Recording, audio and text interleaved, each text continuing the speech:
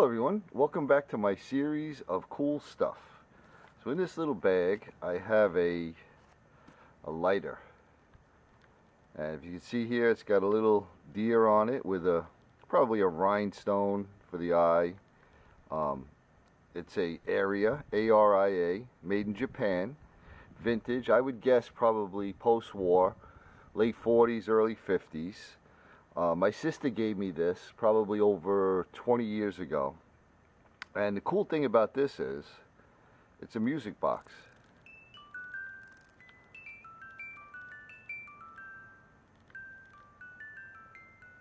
It's got an on-off switch. You can stop the music and start it again. I have no idea what song that is, but I thought it was really cool. Now the thing about this lighter which I thought was cool too, was it didn't work when I got it. But as you can see, it works now. So I needed to um, fix it. And how I did that was, here's the insert. So this part's the music box in the bottom. And I'm going to show you a couple little things here. Now if you look at this diagram, it's not the same lighter, but similar workings, you have this thing right here, which is called the clutch spring, okay? And what that does is that stops the wheel. Um, uh, they've been called spark wheels, flint wheels, file wheels, just plain old wheels. It stops it from going backwards. So that when you push the button, when you push this down, the wheel only goes that way. So it scrapes the spark and it doesn't go back this way okay? So whatever was supposed to be in there was missing. And um, this is the only thing I could find that that looked like it could be the spring. And the thing is um, I was gonna buy one of these on eBay but the ones that weren't broken that you know said works they were pretty expensive. I mean they ranged anywhere from like 37 bucks up to like 80 bucks and I didn't want to spend that kind of money just to see what I needed to make to get this one to work. So I put my thinking cap on and um, what I noticed was, if I could open that, if you see that little screw in there, that that's, I said, well, they must have put that in there because it was a set screw. Now, this screw was loose when I got this.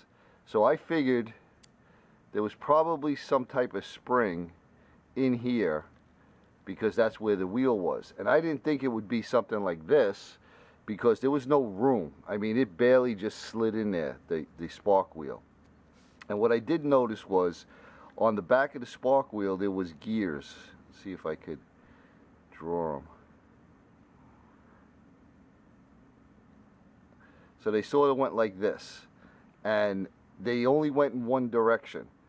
So the idea is that this, the wheel doesn't go this direction it only goes that direction so that when you flip this it sparks. So I figured that there had to be some type of flat spring that caught into here so that when it was going in one direction it would catch and it wouldn't turn and when it went the other direction the spring would move. So I put my thinking cap on and um, I made a spring and this is what it looks like. Flat part here with this little curve here as you can see. And this little curve right here is what caught into those gears. So it sits in there like this. Let's see if I can get this right. Yeah. So here on this end here is the the screw. So it actually sits in there like this okay? So the screw is pressing down on here. And it holds it up. And then this part here caught into those gears. So it only let the wheel go in one direction. Hopefully that made sense. And um, I'll be honest with you I could not believe it actually worked. It worked it's been working it works great and uh, that's what also makes this even cooler.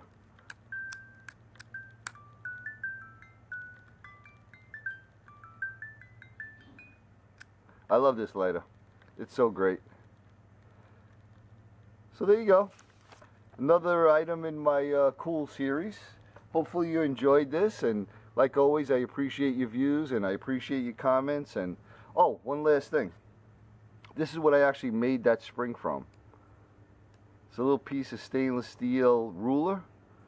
Um, I ground it down, made it a little flatter on the end.